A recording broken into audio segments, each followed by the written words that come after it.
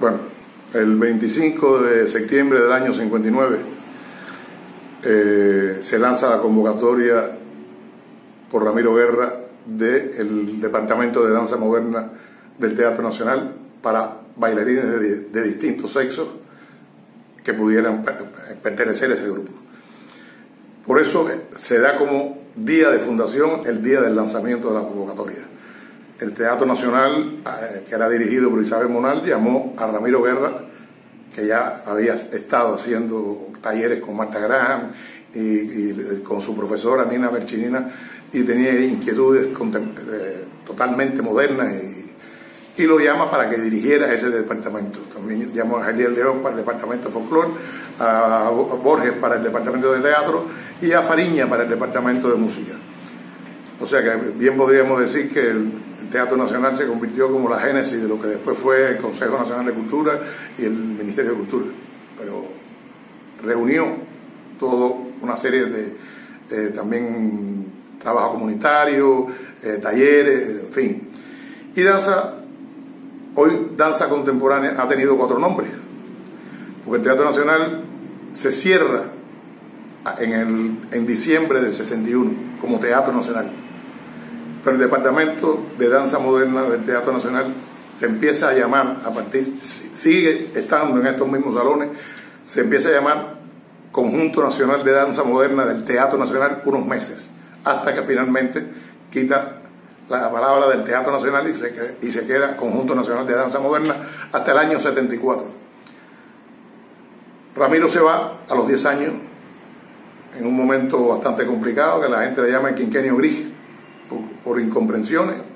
A lo mejor en ese momento hubiera entrado por modernismo como trazo a Cuba, digo como trazo porque no es la filosofía de que, de que el hombre va a desbaratar el mundo, que aunque tal parece que lo estamos haciendo pero hubiera a través del decálogo del Apocalipsis, hubiera entrado el modernismo aquí, en el mismo momento que estaba Pina Bausch en Alemania haciendo su danza teatro, estaba Merz Cunningham haciendo también su postmodern en Estados Unidos, y en aquel momento no existía el Internet, o sea que parece que las corrientes mentales, la telepatía de los genios existe como la de los murciélagos, y se coexistía a la misma vez. A Ramiro le, niegan que, podía eh, poner ese decálogo que era alrededor del Teatro Nacional, utilizando una manera diferente. De, también tenía unos falos gigantescos, lógicamente. El, Changó coge los rayos y supuestamente se lo pasa por su testículo. O sea, la danza moderna cambia el centro de, la danza moderna cubana cambia el centro del plexo solar hacia la pelvis, que es donde está la parte más sensual y sexual del hombre y de la mujer. O sea, no puede negarse que en, todos los países fríos, sobre todo, los animales copulan en primavera.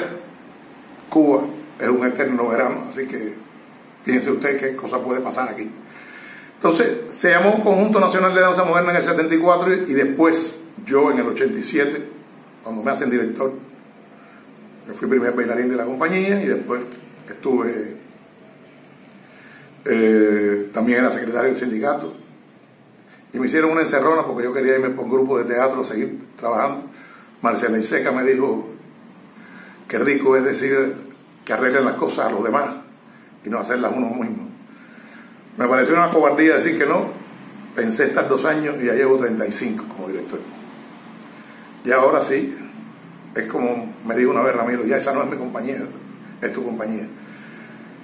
Y estos cuatro nombres, o sea, el último, conjunto, eh, o sea, danza contemporánea de Cuba, no son, no son cambios de nombre propiamente, son también cambios o, mutar una misma estética que tiene que ver con las tradiciones y con la identidad.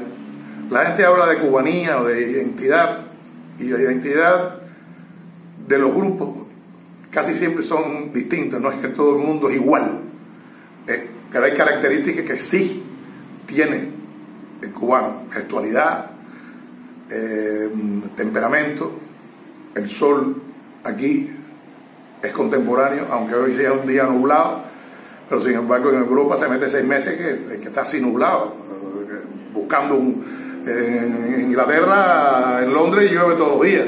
Eh, en Escocia tiene un clima por la mañana, otro por el mediodía otro por la tarde y nieve por la noche. O sea, es distinto. Esa característica identitaria de la compañía sí está tatuada no en la piel, sino está tatuada en el corazón, en, la, en el cerebro, en la vida misma. Yo me enorgullezco cuando me dicen, ay, pero yo creía que tú eras italiano. Digo, no, no, no, no, soy cubano y del auto. O sea, donde vivo hace 72 años, la edad que tengo.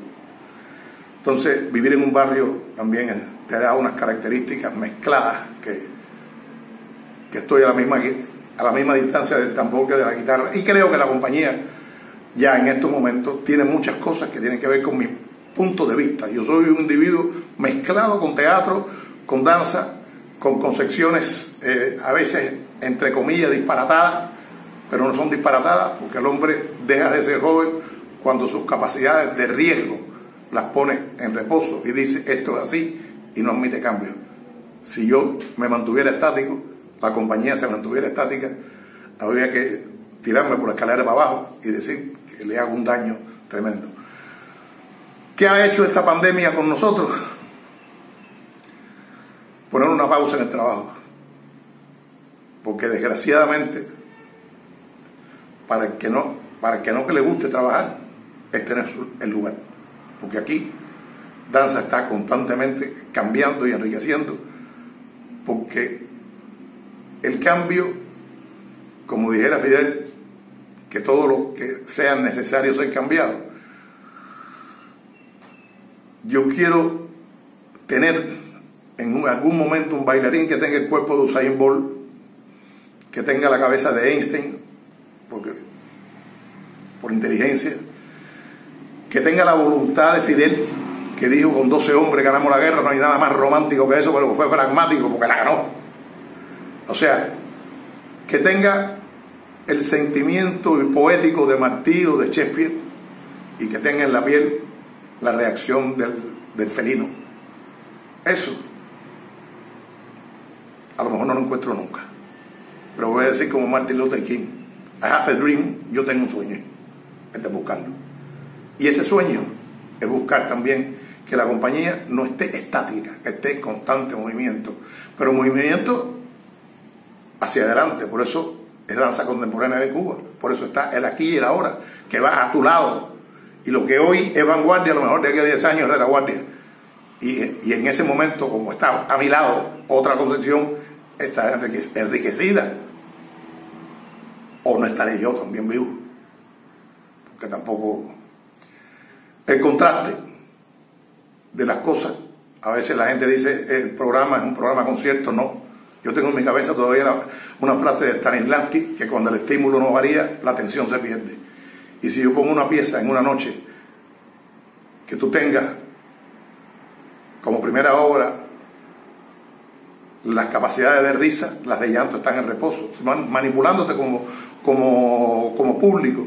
Después te pongo otra que es que te hace llorar y en fin de cuentas, la última, esa es la que te lleva para tu casa. Pero el constante oposición es, o sea, la armonía es los distintos sonidos en una sola dirección. Y busco armonía justamente en la oposición. El yin y el yang tiene que ver en las contradicciones, no en el antagonismo. Caminar es una contradicción de pie. Las piernas para los lados es un antagonismo, no puedes caminar con las piernas a los lados. Entonces, eso es lo que no puede haber en la escena, antagonismo. Y eso es lo que no tiene danza. De eso se trata Danza Contemporánea de Cuba.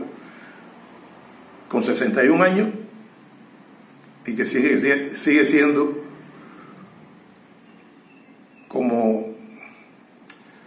Yo no fui discípulo de Ramiro y todo el mundo dice que tuvimos muchas broncas, muchas discusiones. Y todo el mundo dice que, que soy, a pesar de no haber sido discípulo de él, que me parezco mucho a él. A lo mejor me debía haberme llamado no Miguel Iglesias, sino Mando Guerra, porque amo guerra donde quiera. Y la guerra justamente es la constante evolución. De eso se trata, danza contemporánea de Cuba, a sus 61 años.